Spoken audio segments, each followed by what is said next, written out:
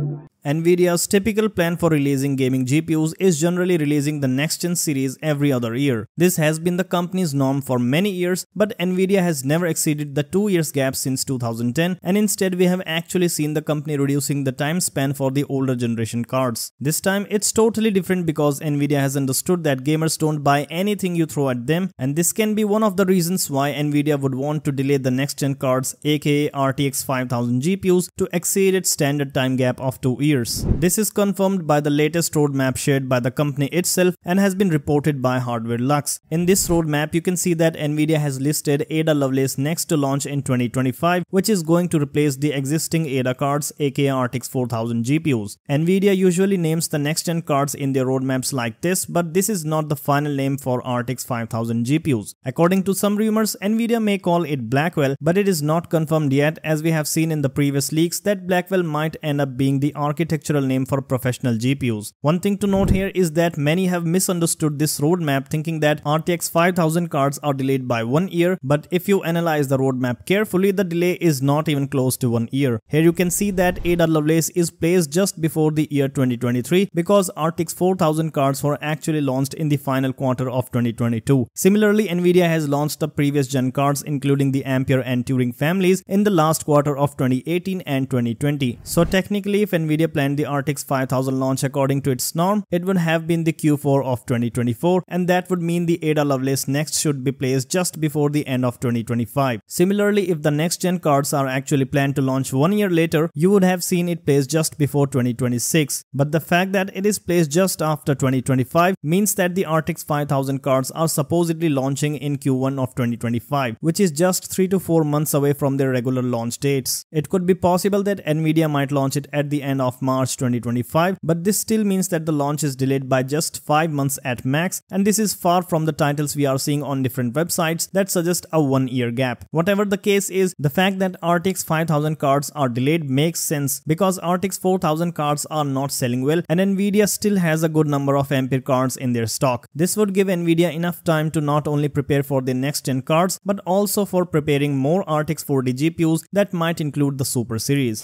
If you are a hardware enthusiast and want to keep up with all the latest hardware news, leaks and analysis, then this is the right place for you. On this channel, I cover the most interesting stories right after their breakout and all you need to do is click on the subscribe button so you never miss any stories again.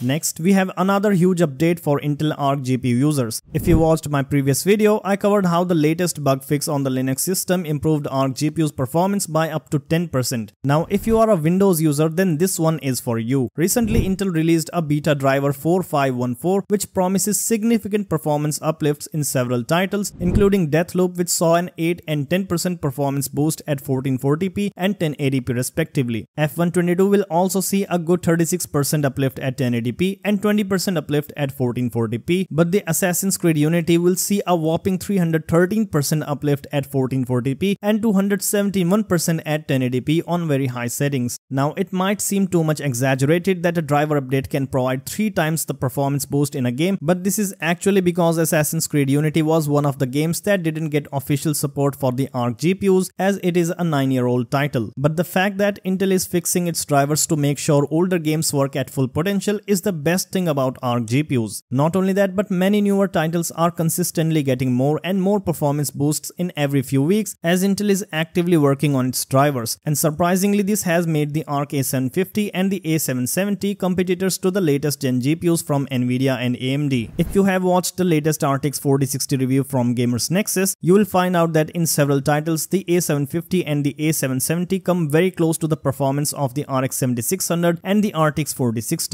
Considering that the A750 costs much lower than the 4060, it is now actually looking like a decent card for budget gaming builds. Of course, not every game likes the ARC GPUs, but the Intel driver update history tells us that it is not far from now when we will actually see Intel GPUs giving head-to-head -head competition to AMD and Nvidia.